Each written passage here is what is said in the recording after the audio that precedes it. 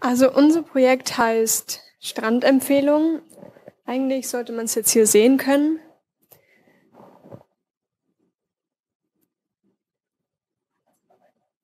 Und wir haben uns überlegt, ähm, es gibt ja immer verschiedene Aktivitäten, die man am Strand machen kann.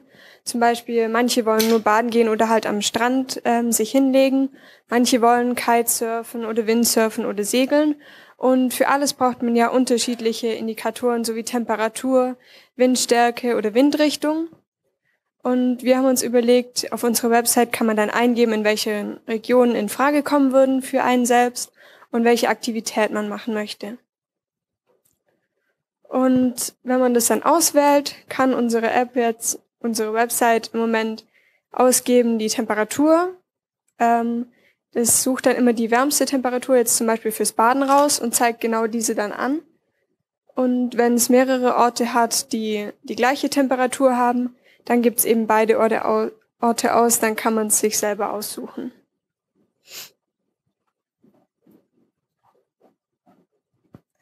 Wir zeigen dann gleich auch noch eine Demo, wenn es funktioniert.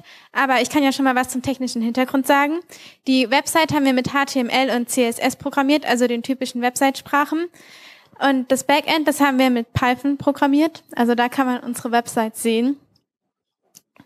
Wir können auch jetzt gleich mal eine Live-Demo machen.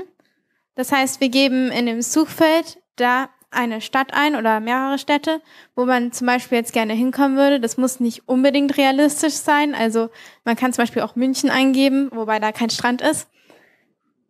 Und dann sucht man sich eben eine Aktivität aus. Das ist auch so, dass man sich nur eine Sache aussuchen kann, da ja je nach Sache unterschiedlich die Windbedingungen sein müssen. Und deswegen ist es eben so, dass man nur eine Sache auswählen kann. Man möchte ja zum Beispiel nicht gleichzeitig Wind und Kitesurfen, sondern nur eine Sache machen. Und jetzt gehen wir auf Bester Strand. Das sendet das Ganze dann zurück. Und wenn wir Internet hätten, dann würde das funktionieren. Das Internet ist, glaube ich, im Moment wieder weg. Und theoretisch müsste uns das jetzt die beste Stadt ausgeben. Das Ganze haben wir, wie gesagt, ja schon mit HTML und CSS gemacht. Da können wir auch nochmal kurz den Code zeigen. Den sehen Sie hier. Das ist der für HTML. Und das Backend haben wir in Python geschrieben. Da haben wir auch noch den Code da.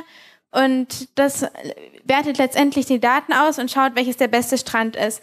Und natürlich muss man irgendwie schauen, welcher jetzt der beste Strand ist. Und diese Kriterien machen wir über Wetterdaten. Die Wetterdaten haben wir von einer Website, die heißt Open Weather Map. Und da werden Wetterdaten für alle öffentlich zugänglich dargestellt. Und mit einer API konnten wir uns die dann praktisch in unser Programm reinholen. Und dann haben wir die ausgewertet. Wir brauchen aber nicht alle Daten, sondern nur bestimmte, nämlich die Temperatur, die Windrichtung, die Windstärke und die Regenwahrscheinlichkeit. Und dann haben wir eben jetzt im Moment nur die Temperatur eingebaut. Das heißt, mit dieses Python-Programm sucht raus, welcher Ort jetzt die wärmste Temperatur hat und gibt den am Schluss aus. Und es ist auch so, das haben wir ja schon gesagt, wenn zwei Orte die gleiche Temperatur haben, kann man sich selbst entscheiden, wo man hingeht. Dann werden beide Orte mit der Temperatur ausgegeben. Unsere Zukunft ist, dass wir eben einmal das schauen, dass wir das noch fertig machen, also dass wir noch schauen, dass wir Windrichtung so weiter noch einbauen.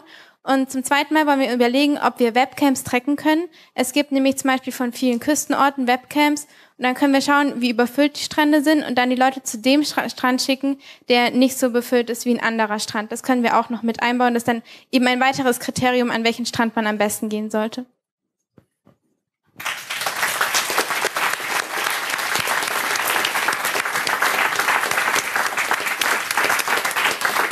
amazing.